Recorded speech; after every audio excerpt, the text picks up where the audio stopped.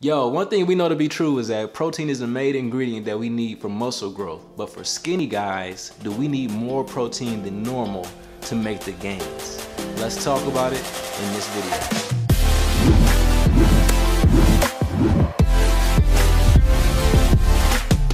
Yo, yo, what's up? I'm Jalon with Hard Gainer Fitness.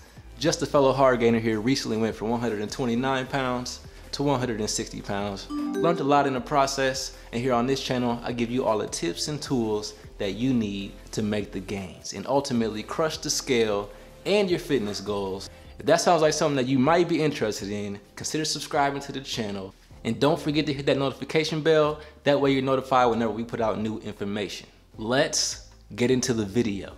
Yo, so protein, right? We know that protein is definitely the powerhouse for making gains. It's what we all need in order to put on and pack on as much muscle as possible.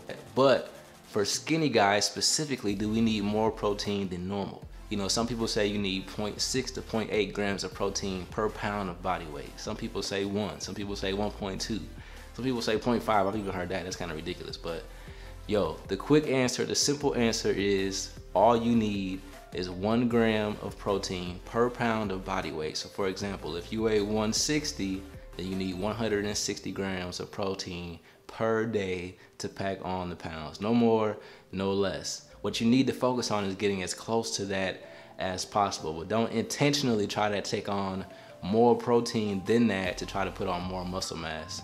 It's not gonna do anything for your body. Your body can't really process that. So all you need is that one gram of protein per pound of body weight.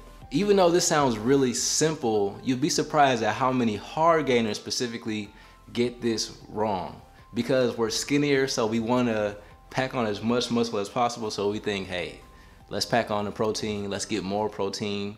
You know, let's take six cups of protein a day.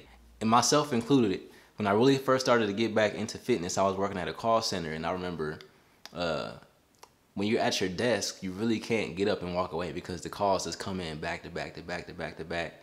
And what I used to do is I would take uh, protein, I would put it in like a little Ziploc bag, and I had these Gatorade bottles, these empty Gatorade bottles, like three or four of them, and I would fill them up with water, and I would just pack protein in them and shake them up and drink them, and I would have like six a day. I mean, six a day. So uncalled for, so unnecessary. So check it out, man.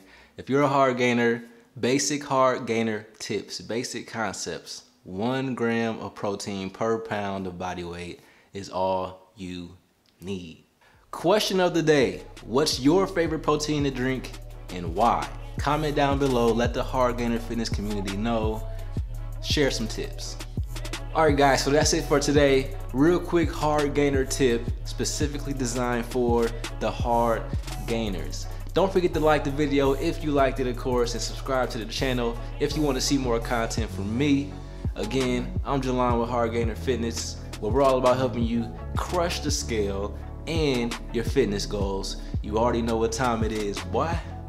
It's time to make them gains. Let's get it.